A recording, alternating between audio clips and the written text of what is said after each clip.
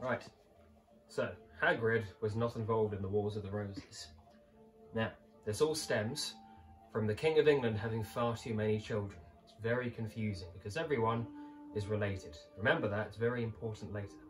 Now, it's not really the Wars of the Roses because there was no such thing as the Red Rose and the White Rose. That was made up by William Shakespeare. It was actually called the Cousins' War. Why? Because there are too many children. Now we have King Henry VI. He's a bit rubbish because in 1453, King Henry VI hears that he's lost a war called the Hundred Years' War. It's lasted 116 years. We've lost. What does he do when he hears the news? He falls over. He slips into a coma. He can't rule the country, but he has got a wife. Her name is Margaret of Anjou, played by Helena Bonham Carter. Margaret of Anjou is French. We've just lost the Hundred Years' War against France. Do you think we want a French queen on the throne? No. People hate her. She's what we call not very French. good. French. No, be quiet. So, who else can we have rule the country? Well, thankfully, King Edward III had too many children. So we have this man here. His name is Richard, Richard of York. And he also has a claim to the throne. So he decides he'll be the king, while the king can't rule the throne. Very good. But there's a problem. Margaret isn't very happy about that, and she's got herself an army. So we have war. It's called the War of the Roses, but it's nothing to do with roses. And there's another man called Richard Neville. He's the Earl of Warwick. He's green for some reason. Now, the Earl of Warwick, he originally supported that side, the Red Rose. We'll call it House Lancaster. But he decides he doesn't like Henry VI because he started stealing all of his land and his money. So Richard Neville, the Kingmaker, he swaps sides to the White Rose of York. But then there's a problem because Richard of York, he gets killed in battle and they take off his head and they stick it on a spike on a wall. There he is. So, Richard of York, he's dead. And the crown goes to Henry VI. But Henry VI, he's not a very good king because once again, he's fallen over. He's in a coma, he's unconscious. Everyone forgot that Richard Duke of York had a son. His name was Edward. Here's Edward. Now, Edward and Richard Neville, they're cousins, it's called the Cousins' War, they march down to London and they take the crown away from Henry VI. He's not even there at the time, he's up north in Scotland. And Richard Neville takes that crown and he gives it to little Edward. So now Edward is King Edward IV.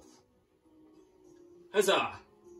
Now Richard Neville, he is the king's right-hand man until he tells the king who to marry. So Richard Neville tells Edward IV to go and marry a French princess. He's not very happy about that because he wants to marry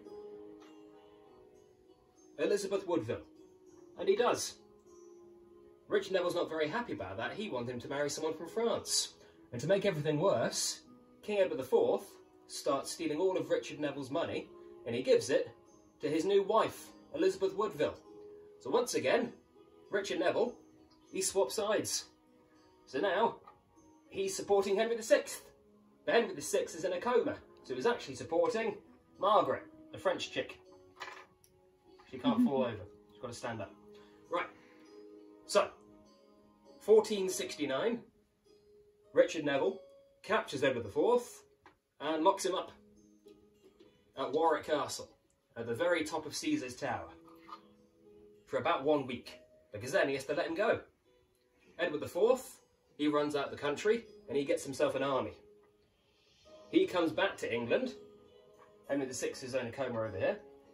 And then we have the Battle of Barnet, 1471. The battlefield is covered in fog. Now, Richard Neville, he thinks it is a brilliant idea to split his army in half. Half of his men run off into the fog. They get a bit lost, they can't see where they're going, so they turn around and they bump into their own men and they all start fighting each other. Absolute chaos. When they realise what they're doing, they shout traitor and they all run away. Margaret isn't there there at the time, she's off on holiday. So Richard Neville, he's completely alone. He's captured by Edward's soldiers. They tackle him to the ground they pull off his helmet and they stab him 60 times to the eye. He's dead. So Richard Neville's dead. Margaret of Anjou, she's captured. She's exiled off to France. Now, Edward IV, he's the King of England. What does the King of England do? He makes loads of babies. So he's got a daughter, her name's Elizabeth, and he's got a couple of sons. He's got Edward and Richard. He's got a nice little family going on there. But then, Edward IV, he dies from eating too much food. So Edward IV is dead, and his crown is meant to go to one of his children. But they're too little. So the crown goes to his brother. And his brother is called Richard. He's called Richard III. Now Richard III, he said the best place to put the two princes in, well, the two princes is the Tower of London. So they go off to the Tower of London and they disappear. They're never seen again. So now Richard III, he's the King of England. But there's one more person. His name is Henry Tudor. Here he is. Henry Tudor pops up. He's with the Red Rose. He fights King Richard III. He kills him. He disappears into a car park. And Richard III, he's dead. Henry Tudor marries Elizabeth of York. They combine their houses, the Red Rose and the White Rose, and we have peace. The Tudor Age. The Wars of the Roses.